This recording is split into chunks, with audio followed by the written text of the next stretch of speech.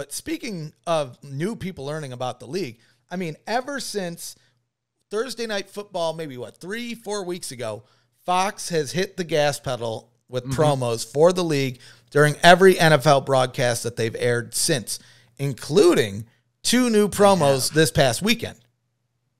What did you think of the new promos? They're nice.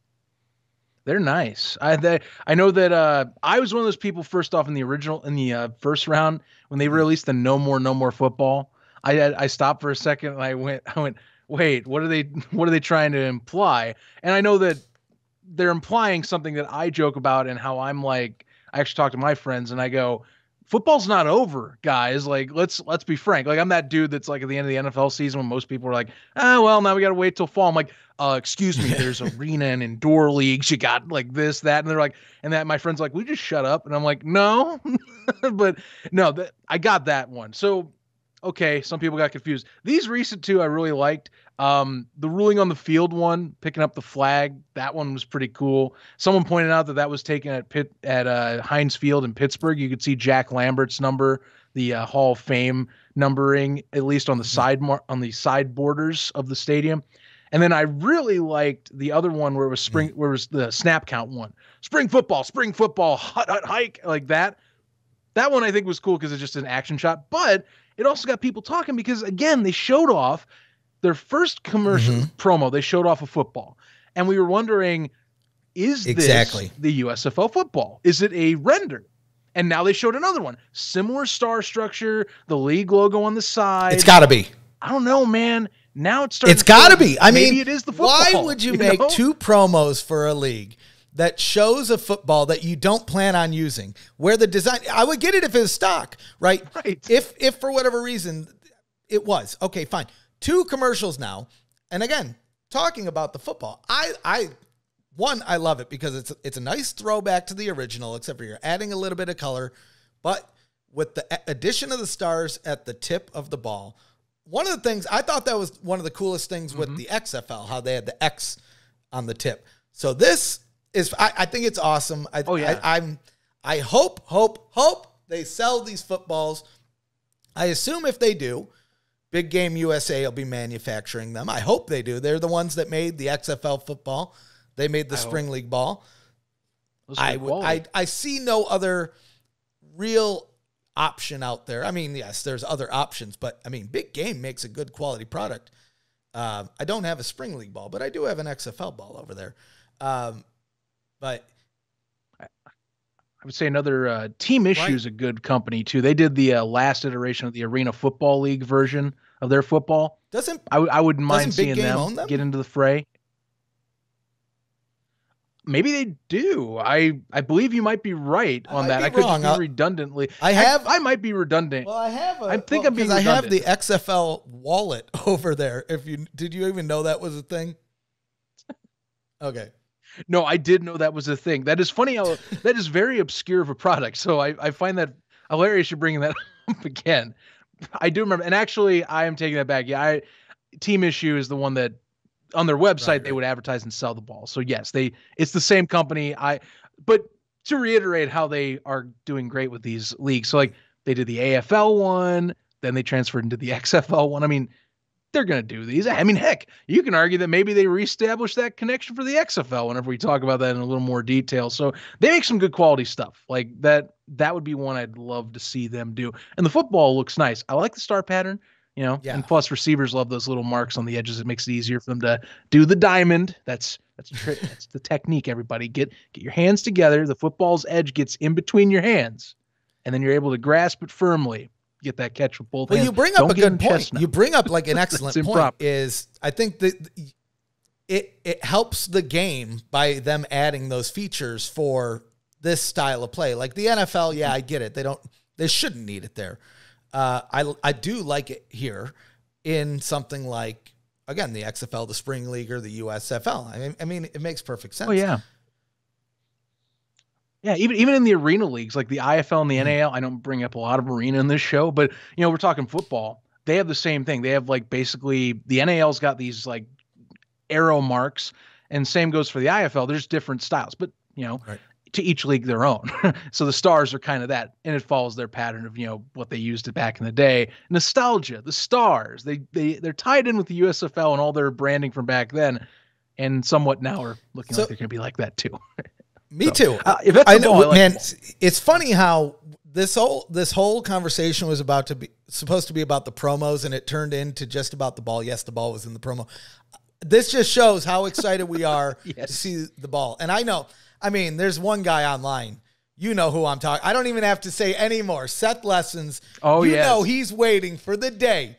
I'll say this: if anyone at the USFL is watching, and you want to gain a fan for life, send Seth Lessons a football. Send us one too, but send him one as well because I mean yes. he's got he's got everything. I've never seen a dude have so many cool original, authentic, rare footballs than this guy has. I don't get. I don't know how he finds them. I mean, yeah, you. Well, you want to talk about USFL, like just to give him his recent, like one of his most recent purchases when I'm and I'm following him online too. He's got like he's got the 1986 USFL game ball that was supposed to be an experimental football. And for those that it's like 1986, mm-hmm. okay, what's the big deal? Well, remember they didn't play in 1986. They had to, well, kind of, uh, you know, closed doors. That was that was the ball plan for the fall season of that year. Yeah. Never came to be. so it's that shows you like dude's serious about his footballs. Like he is a diehard collector. And I and yeah, like we're gonna see it no matter like even with after the renders or whatever. Oh, absolutely. Pictures, you know he's gonna get one like the second. He'll be order number out. one. right. So back yeah. back, back to the promos it's gonna real happen. quick. Because I, I I I looking forward, right? So this weekend is the beginning of the NFL playoffs, right? We have games on Fox and NBC. Clearly, mm-hmm. I think mm-hmm. we're going to see Fox continue to show promos. We haven't seen NBC show any promos yet. Will we? Will we? They're they're right. keep in mind everybody, they are broadcasting the Super Bowl this year. So, there's that, but I don't know. Do you think we get any in the playoffs? Now, I'm going to bring up how this came to be because this was a tweet that was sent out via the USFL podcast account that we handle. And it was a, it was one of those things like him you and I were curious. We're like, okay, let's see what people think about this. Like because Fox has been doing their part. They already own the league majority wise. So, of course they're going to put them out, but NBC bought into the league for broadcast rights. So, in theory, they have a stake in this and mm. they bought the rights. They didn't, you know, they're not just letting you play on their network. They are paying Fox to do this. So in theory, they have an incentive to promote this entity that they're going to be playing in the spring. Also that they don't have NHL games and they are losing some sports rights. You know, this is kind of a new thing they're adding in. I I put we put that down. We saw, I believe, some we saw some people like, oh yeah, this makes complete sense. And then we got into some people debating about like, no, this ain't gonna happen. They don't have enough incentive or enough enough backing into it. And I'm like, man, I think they will because of the fact that recent track record that NBC's had with retaining some sports to broadcast, their sports lineup is not very mainstream. They, they have a different skew. They like a lot of the obscure Olympic sports, as well as, of course, soccer with Premier mm-hmm. League, and they do IndyCar as well. And then, you know, they don't have basketball. They lost hockey. NBC Sports Network yeah, shutting yeah. down or shut down now. I mean, to me, this just this all adds up to saying like, hey, this is a new thing for us. We're gonna put a promo out or promos at some point, and I think with the Super Bowl as well, it's mm-hmm. the it's the best time to do it. You have the entire driver's seat. You don't have to pay for that ad space. You just have to give up potential money for the ad space is the only thing. So I guess in theory you are losing cash out, but also if you make money off of the USFL at some point down the line from the TV aspect, that's the hope. It gets that that spurt because you're going to air a good chunk, if not half of these football games anyway. For sure, you're invested. You got to do it then, at, at least at the Super Bowl at or your minimum. I think we get a mm-hmm. Super Bowl ad at minimum. I think it would be so. It would be very strange for us not to see a, uh, an ad during the Super Bowl. Again, let's let's look back at the past. Let's look at 2019 and 2020. We saw an ad for the AAF right? People think about the, the XFL was like yeah. hot hot potatoes compared to the AAF. So the AAF getting a spot is one thing. The XFL got a spot. I mean, it would only make sense. Again, we don't, I don't know if they're going to, but I almost feel like the answer has to be yes there. I could see them skipping the playoffs leading up to it. And and I'll say this, the main reason is because unlike the XFL, they're not playing right after the Super mm-hmm. Bowl. Right. And so I but at minimum we'll get this I, I Few think months, it yeah. has to be. I think we almost have to see an ad to- during the Super Bowl. Now, an, another question for you though. Another question. Yeah, so um, yeah. last week, final week of the NFL playoffs or the NFL regular season, excuse me. We saw Fox again showing the promos. They brought out two new promos. Do we get new promos for the playoffs? Good question. And that would happen to me. So, whereas NBC to me, it's at minimum the Super Bowl, they have to wait till then. Fox is most likely to me would do it during the NFC Championship game when they will be hosting that. And they'll get a sizable audience because the NFC actually is a really good broadcast deal for them. Yeah, I mean, I wouldn't put it past them because they already dropped another round. I didn't think they'd drop another round because of just uh I don't know. They I mean, I'll give it that. They've been bare bones. People have been saying it. I'll put it out there. They've been kind of trying to do this as economically cut and dry as possible. So they put out a second round. Now I'm kind of thinking, okay, some person over in LA or whatever group is in LA working on this stuff for them.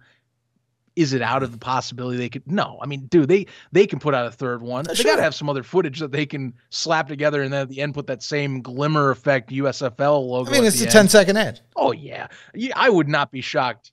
No, I wouldn't be shocked. Just put it as a bumper again. They'll they'll do it the same way. It'll be a 10 second bumper, unless for some reason they hold out and they do like a 30 second for the heck of it. That's the one I think everyone's waiting for. Is like the longer form. Like this is what this is all Yeah, about. yeah. Eight teams, all in Birmingham, Alabama, of made for TV product just for you. Right, right, Smash mouth football, like something like that. They'll wait for the like the long, but these are all like build-ups. Like I think even uh like you've seen execs like Eric Shanks, I think's commented, if I remember right on Twitter, someone asked about that. Um, or whoever Connor Folk contacted and recently a few weeks back, he asked about the promos. And they're like, it's a build-up. So Sure. to me, it's got to build up to something bigger. This is these are hints. Right. Now wait, I want the explanation one. You know, And maybe, really maybe we're meat, lucky that will know? be the NFC Championship game. Or, I mean, for the for the league, to, it, it would be huge if they got that build up one in the Super Bowl, like a good thirty second ad during the Super Bowl. I mean, I don't know. I couldn't even tell you how much money that's worth. Ten seconds is worth more than I'll ever own in my life anyway. But thirty seconds, I mean, so I mean, we're getting so close to so many fun things.